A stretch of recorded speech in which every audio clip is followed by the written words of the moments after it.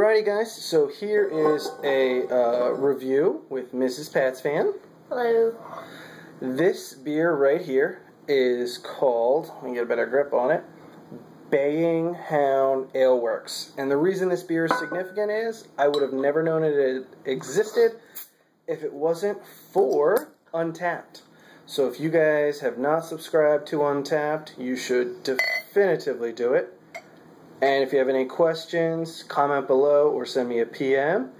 And then my screen name is, I believe, JR Belcher or Pats Fan 1284. You can find me under either, or you can type my name in, um, which is Joe Belcher. So, the reason Untappd is so important is that uh, these this is from microbrewery. They actually, I believe, do about 10 and 15 gallon batches, so very small and I actually didn't even know they existed, except for Untappd. They, I was in the, um, I was in the map function, and I was like trying to see what was in the area, and this popped up, and I thought it was actually our local establishment, Growlers, and I was like, wait a second, Growlers isn't isn't down in that direction. That's not right. And I zoomed in again, and it said Baying Hound. So, thanks to Untappd, we have this beer.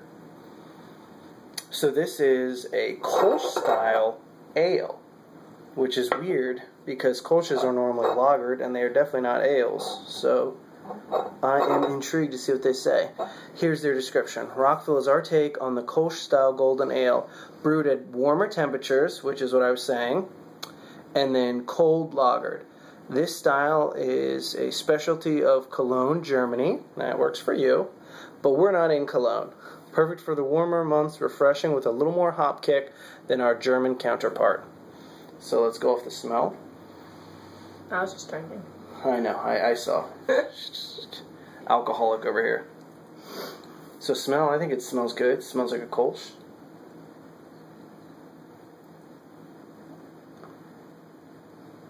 Very refreshing. Definitely a little bit of a hop kick.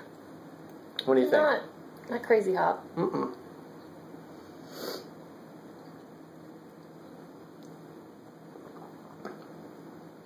A little distracted by the burning in my fingers.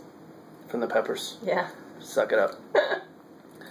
the um, I like it. It kind of reminds me of that uh, Erdinger, but just a little more um, That one was a little bit less hoppy. hoppy. Mm-hmm. I like it. It's smooth. I like it. We'll have to. Do they, is it just like a bar, or do they have food too? It's just like a bar. I don't. I think they have. Um, they've got like pretzels and maybe nachos, but that's about it. So it's like a sixth. Yeah. And it's 5.5% alcohol per volume. But it's $7.99. That's not too bad. I'd be willing to pay that. Um, I'd be willing to pay that. Not every week, but I could buy a couple of these over a summer for sure. What do you think? You like it? It's not bad. Out of a 10, what would you give it? 10 being the best, 1 being the worst. Seven, seven and a half. I'd be willing to give it an 8. I think it's a good beer. Um, I really like the story. You haven't read the story. You'll have to go to their website and read their story. Don't do it around people. You'll cry. But it's very good. The people who own this brewery are um, they are dog lovers, so it's a big big plus for me. Big plus. But uh, this is really good. I was kind of intrigued wondering how the yeast was going to work out because normally when you um, when you use yeast out of its temperature zone, it can have uh, drastic, most of the time, bad results with esters and off flavors. But I don't really have any off flavors. I think it's really good. I think it's definitely um, refreshing. It's got some complexity with the yeast. You can definitely tell the yeast is done at a higher temperature because there's a little bit of fruity taste. Take another sip. You'll taste fruitiness. It's not like fruit fruit. It's like a yeasty fruit. That's like that little tingly and um, Okay. pick up on it. This tongue does more. Has a lot of talent to it. You're editing that part out. I will. Um, so I'm going to hell. So this is a very good beer. I'm a big fan of it. Uh, I think we're going to enjoy this, and then off camera, I'm probably going to get slapped. So it was nice to see you guys. If I'm not back next week, call the police. All right, guys, that's it. If you um, if you don't have Untappd, I couldn't replicate that if I tried. That was awesome.